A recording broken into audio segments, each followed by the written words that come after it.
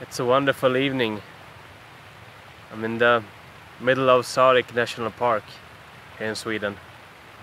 And the last six weeks um, I've been out on three different hikes. Um, the first hike um, it was almost winter.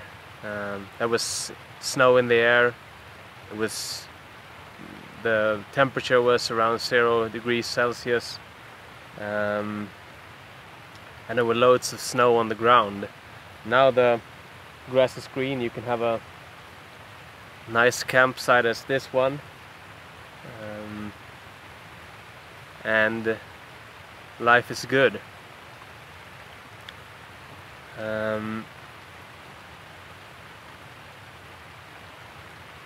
it's kind of hard to describe uh, the reason why I started this this thing called Mountains and Beyond it's kind of like to take you to bring you along on these on these adventures. And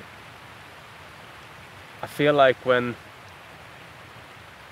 when I'm out alone um, especially when I'm out alone and that's what I am for the most part it's kind of like I get a few final photographs um, and they can they can tell one part of the story really. But there's so much more to it than than than those rare moments of of like th those photographs. And there's so much um, struggle joy hardship uh, passion sweat. There's there's so much to it. And my ambition with with mountains and beyond is first of all just to make to make the photographs that I want and hope to inspire with them. But secondly also to to tell this story about being out capturing these photographs and these moments.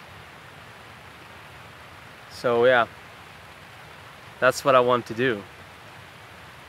And I hope you want to follow along on on the journey because it will be a long one. It will be a, hopefully an interesting one. But for me it's it's really what I love to do. So thank you for watching